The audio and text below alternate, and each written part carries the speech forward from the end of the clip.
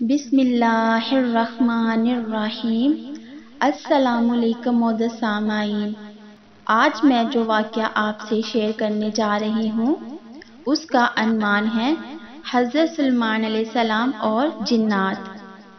حضرت سلمان علیہ السلام حضرت داؤد علیہ السلام کے بیٹے تھے۔ حضرت داؤد بنی اسرائیل کے حکیم، بادشاہ اور اللہ کے نبی تھے۔ حضرت سلمان علیہ السلام نے اپنے والد کے وسیع علم اور فیصلے سے سیکھا اور اکثر سماعتوں کے دوران اپنے والد کے ساتھ مل جاتا تھا۔ وہ ایک مبصر تھے اور ان سے سیکھتے تھے اور کبھی کبھار بحث میں حصہ لیتے تھے۔ ایک دن حضرت داؤد علیہ السلام نے اپنے انیس بیٹوں کو اپنی سلطنت کے سرداروں اور علماء کرام کے سامنے بلایا۔ کون سی چیز انسان کے سب سے قریب ہے؟ سب سے دور کی چیز کون سی ہے؟ کون سی دو چیزیں ایک دوسرے سے منسلک ہیں؟ سب سے زیادہ خوف پیدا کرنے والی چیز کون سی ہے؟ کون سی دو چیزیں غیر تبدیل شدہ رہتی ہیں؟ اور کون سی دو چیزیں ہمیشہ مختلف ہوتی ہیں؟ کون سی دو چیزیں ایک دوسرے کے مخالف ہیں؟ وہ کون سا عمل ہے جس کا نتیجہ اچھا ہوتا ہے؟ اور وہ کون سا عمل ہے جس کا نتیجہ برا ہوتا ہے؟ حضرت داؤد علیہ السلام کے بیٹے گھبرا گئے اور ان سوالوں کا جواب نہ دے سکے۔ سب سے چھوٹے بیٹے حضرت سلیمان علیہ السلام نے کھڑے ہو کر جوابات دیے۔ انسان کے نزدیک سب سے قریب چیز آخرت ہے۔ زندگی اور موت جیسا کہ انسان کبھی بھی لمحے میں مر سکتا ہے۔ اور سب سے دور کی چیزیں وہ وقت ہے جو گزر چکا ہے، جو دوبارہ آنے والا نہیں ہے۔ اور دو چیزیں جو ایک دوسرے سے جڑی ہوئی ہیں، وہ ہے انسان کا جسم اور روح۔ اور سب سے زیادہ خوف پیدا کرنے والا انسان کا جسم مردہ بغیر روح ہے۔ دو چیزیں جو ایک جیسی رہتی ہیں، وہ ہیں آسمان اور زمین۔ دو چیزیں جو مختلف ہیں، وہ ہیں دن اور رات۔ اور دو چیزیں جو ایک دوسرے کے مخالف ہیں، زندگی اور موت۔ وہ عمل جس کا انجام اچھا ہے، غصے کے وقت صبر اور تحمل۔ اور وہ عمل جس کا انجام برا ہے، غصے کے وقت جلد بازی۔ ان جوابات سے متاثر ہو کر حضرت دعود علیہ السلام نے اپنے بیٹے حضرت سلمان علیہ السلام کو ان کی وفات کے بعد ذمہ داری سونپ دی۔ چنانچہ، وقت گزرنے کے ساتھ ساتھ حضرت سلمان علیہ السلام کو اسرائیل کی بادشاہت وراثت میں ملی اور اللہ کی طرف سے ان کی نبوت کو جاری رکھنے کے لیے منتخب کیا گیا۔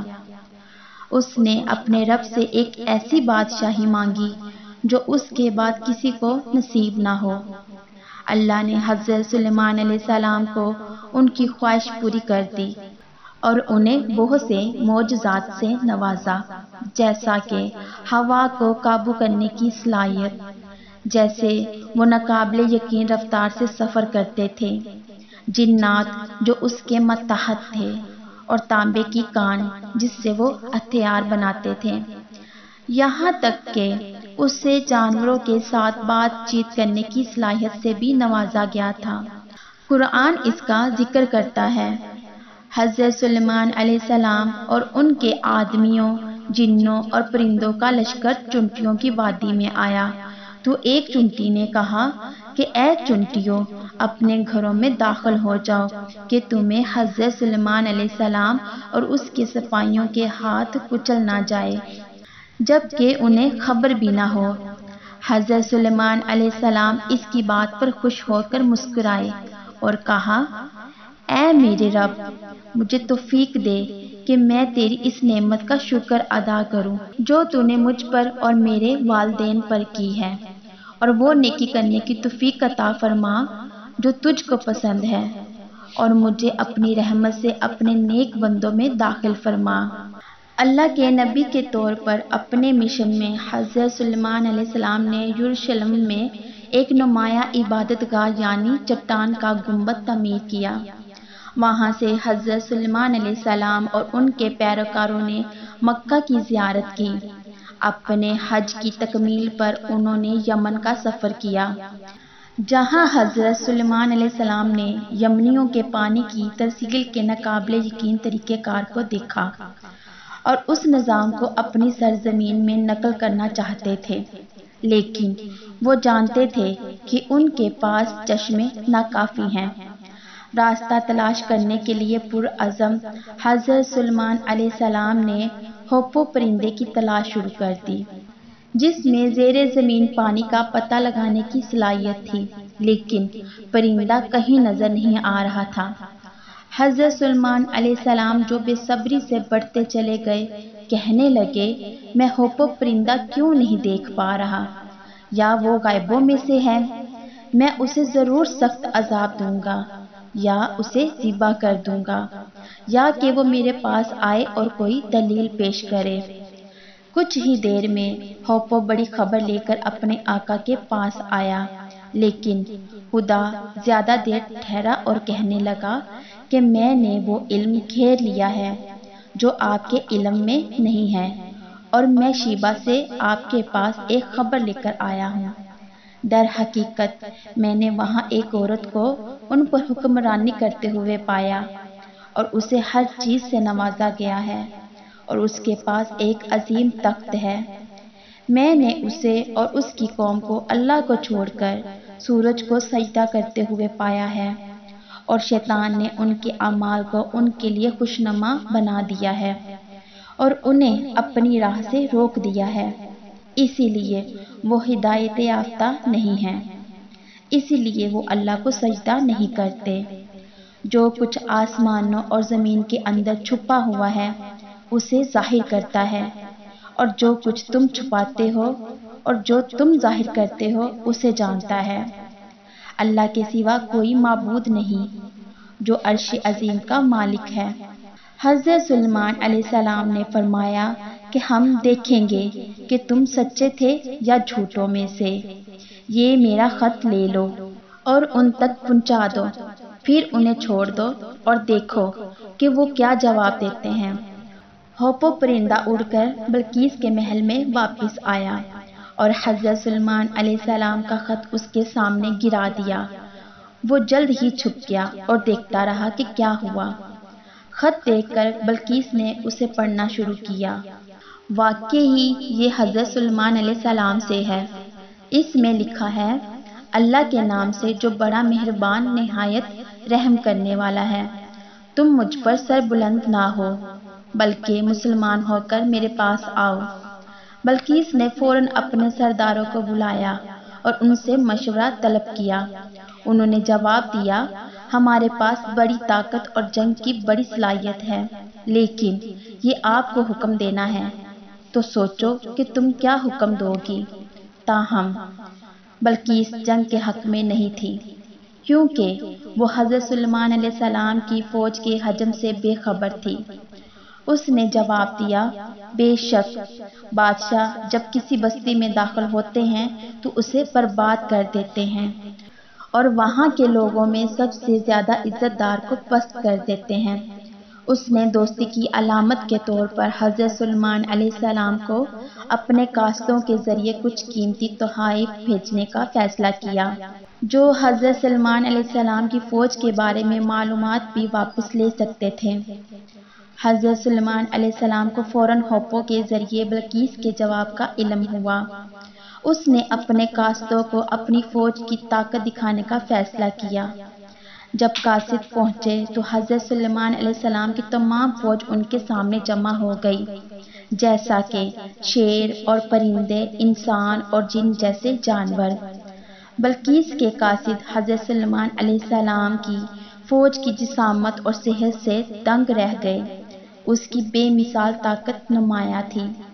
کاستوں نے بے تابی سے بلکیس کا تحفہ حضرت سلمان علیہ السلام کو دوستی کے عہدے کے ساتھ پیش کیا۔ حضرت سلمان علیہ السلام نے جواب دیا، کیا تم مال میں میری مدد کرو گے؟ اللہ نے جو مجھے دیا ہے، وہ اس سے بہتر ہے۔ جو اس نے تمہیں دیا ہے، بلکہ تم اپنے تحفے پر خوش ہو۔ اس کے بعد حضرت سلمان علیہ السلام اپنے کاستوں کے سردار کی طرف متوجہ ہوئے اور کہا، ان کے پاس واپس جاؤ۔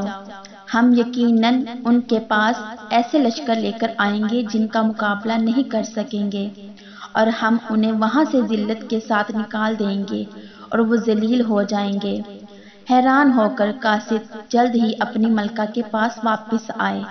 اور حضرت سلمان علیہ السلام کی بادشاہی کی شان و شوکت کے ساتھ ساتھ حضرت سلمان علیہ السلام کا پیغام بھی پہنچایا۔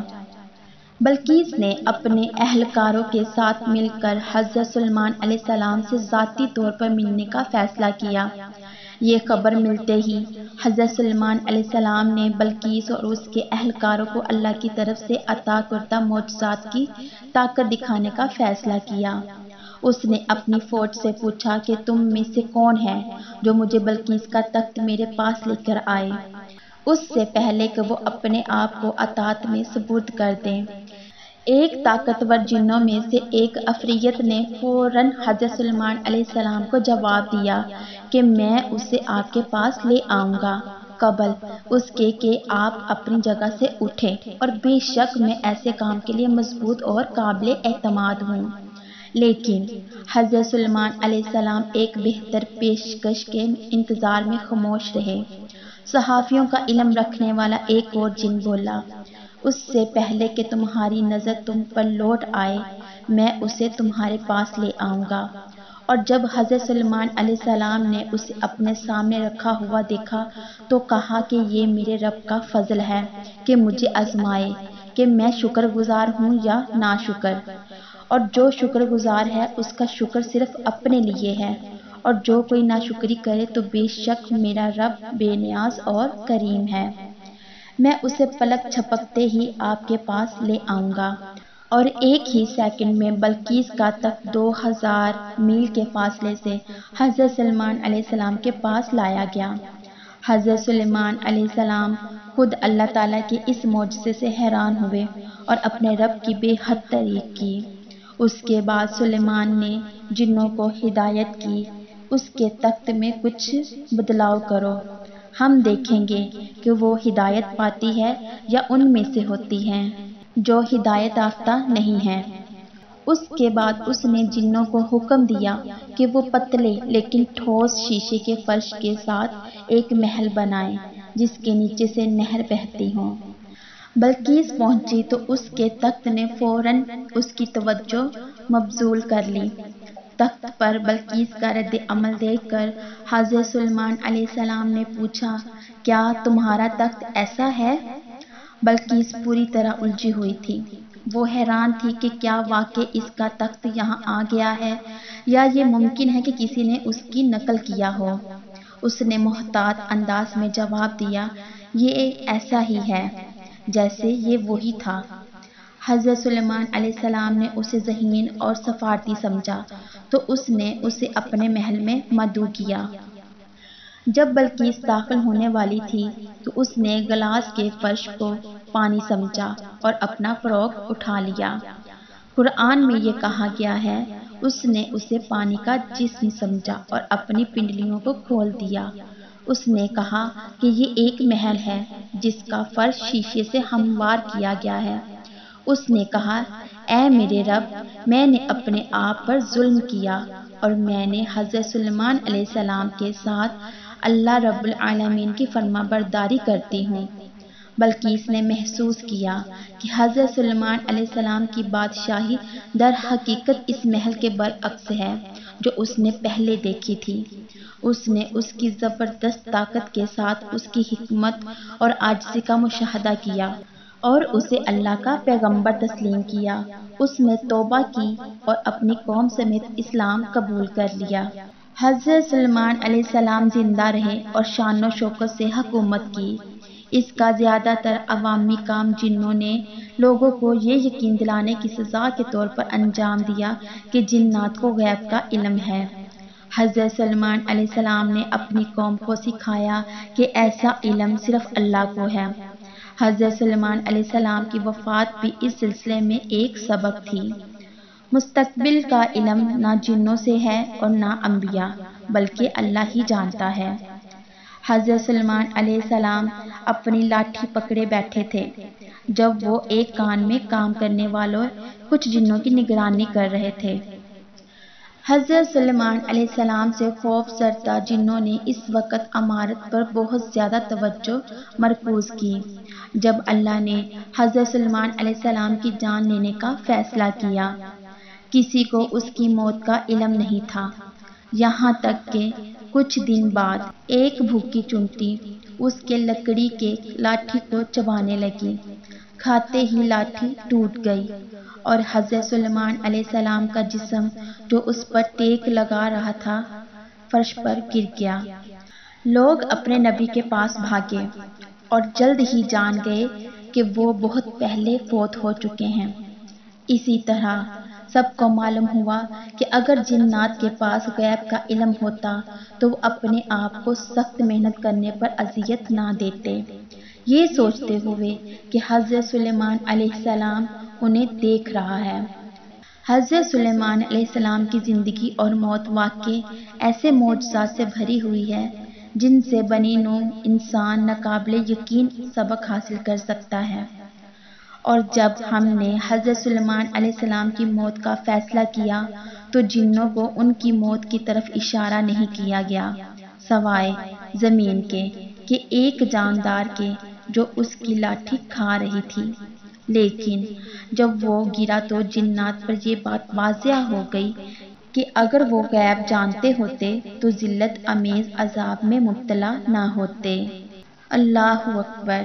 موزد سامعین، اگر آپ کو میرا آج کا عنوان پسند آیا ہو تو ہمارے چینل کو لائک، شیئر اینڈ سبسکرائب کریں۔ جزاک اللہ۔